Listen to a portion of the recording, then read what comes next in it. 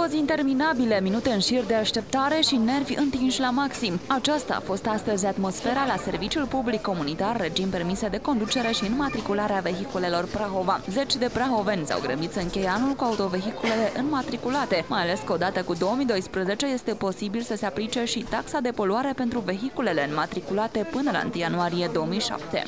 Un Opel din 94. Deci dacă ar fi să se aplice taxa de poluare de la anul, Tocmai, tocmai de aceea nu putem să... Trebuie să acționăm acum.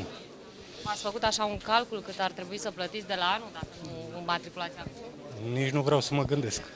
Sincer, nici nu vreau să mă gândesc. Sunt câteva mii de euro? Cred că da. Vreo două ore jumate. Și n-ați rezolvat până acum?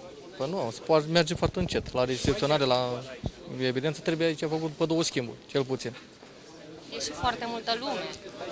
Multă nu e, dar uh, foarte la primirea actelor, uh, cu documente. Trebuie aici doi inși, adică unul să primească și unul să verifice, ca să poată să fie fluxul mai viabil.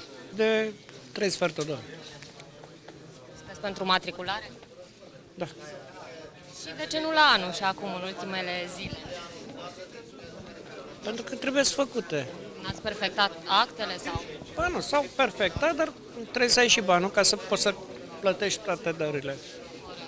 Deci, Mai fără. este teamă și de posibila taxă de poluare ce va fi introdusă de la anul? Așa asta contează. Și aia un mo- ar fi un motiv. fiecare să gândește să-și apere pielea, adică fiecare dintre noi folosim o mașină pentru, nu pentru distracție, poate o folosim ca un strict necesar al familiei.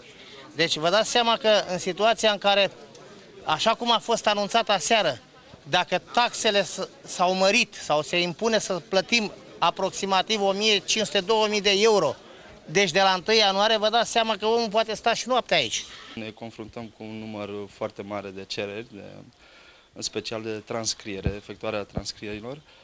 Uh, Oamenii doresc să și matriculeze vehiculele, probabil înainte de a apărea noua lege privind uh, taxa pe poluare.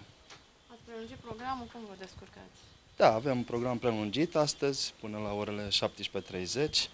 Ne descurcăm, am deschis uh, un număr mai mare de ghișee, pe cât a fost posibil, în funcție de personalul pe care îl avem la dispoziție.